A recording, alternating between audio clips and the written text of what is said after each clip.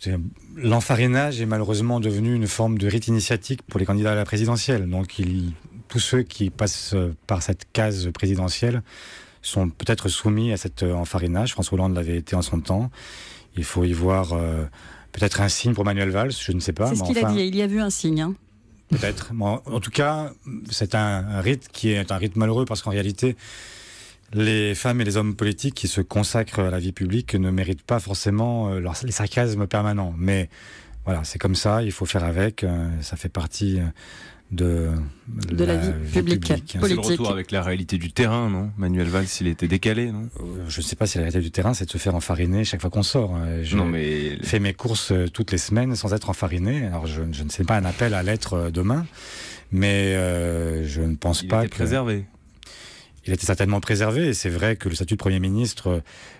Bah, mais euh, forcément à part. Hein. Et on a une sécurité qui euh, vous euh, isole en, fait des Français et du commun des mortels. Il a fait ce choix d'être un nouveau candidat donc dans cette primaire et forcément il a un statut qui le protège moins et qui l'amène à subir un certain nombre de désagréments, mais je pense qu'il en avait pris son parti et qu'il il sait que ça fait partie de, des campagnes.